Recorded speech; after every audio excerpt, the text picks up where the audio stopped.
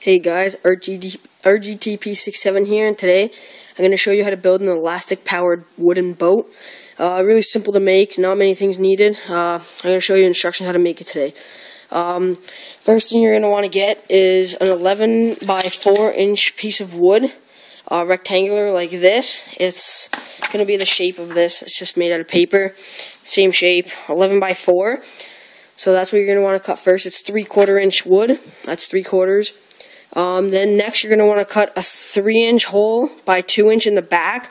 So I'll show you how to do that on the paper. You just cut, measure 3 inches by 2. So that it'll look like that. That's what it'll look like next.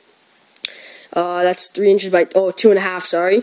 So 3 inches by 2.5. Then next thing you're going to want to do is make the two slits at the end, as you can see right there and there for the elastic to fit in. So just big enough for the elastic. So all you really have to do is make two little slits.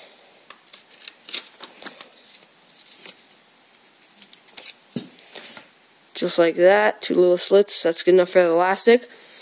Then, if you want, you can make the shape of the boat like triangular, like this, like an actual boat. Uh, just make the shape you want and cut it. I'll just do it quickly.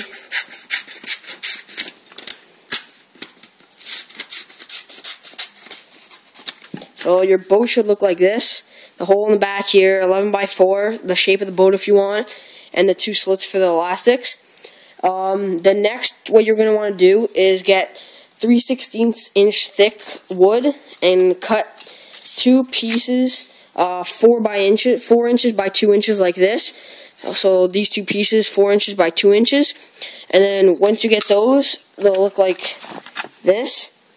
Then what you want to do is cut the two slits in the middle, halfway across, and halfway through them. So they'll just like look like this.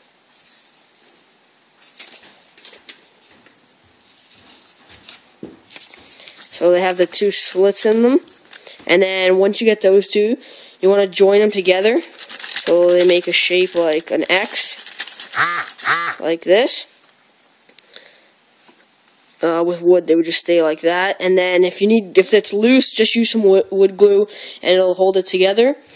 And then, so once you have that, that should fit inside there. And then what you want to do next is, if you want, you can make the rudders like the shape like that. Like I did on the bottom of my boat, I did two there, and then one at the front, one smaller one.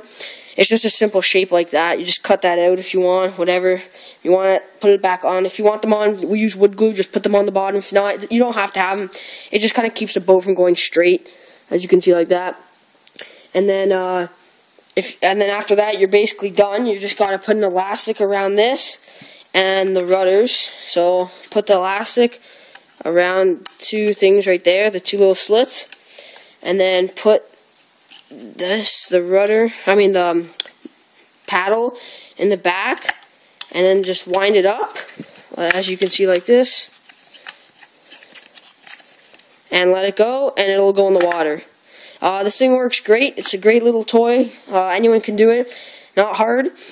Uh, you can try different size elastics to see which one works best. I haven't really found a best one yet. I'm just trying a bunch of different sizes.